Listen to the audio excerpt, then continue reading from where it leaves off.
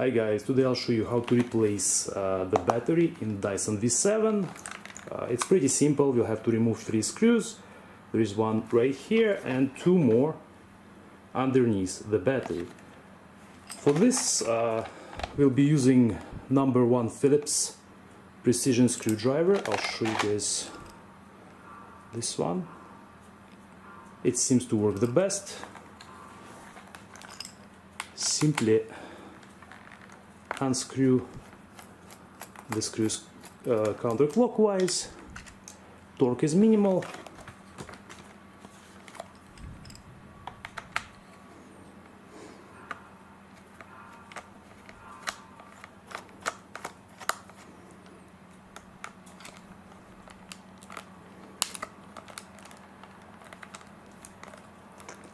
These two are a little, a little bit tighter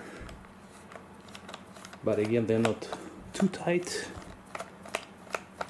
Unscrew all screws and now as you can see the battery comes out. You'll have to remove both screws.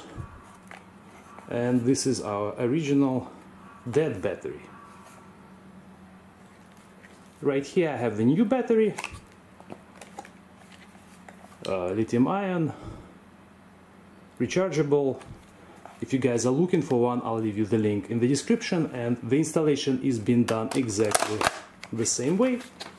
Simply put the new one in and uh, reinstall all three screws.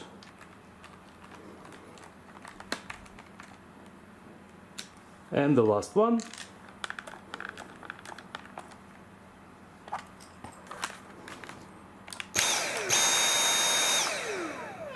Uh, by the way, the new battery has a larger capacity, it says here 45 milliamp hours, opposed to uh, 21 milliamp hours in our original battery.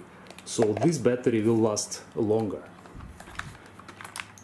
Again guys, thank you for watching, uh, the vacuum cleaner is working. Again, I will leave you guys the links for the, uh, for the battery and for the uh, precision screwdrivers in case if you need them and we'll see you in the next video.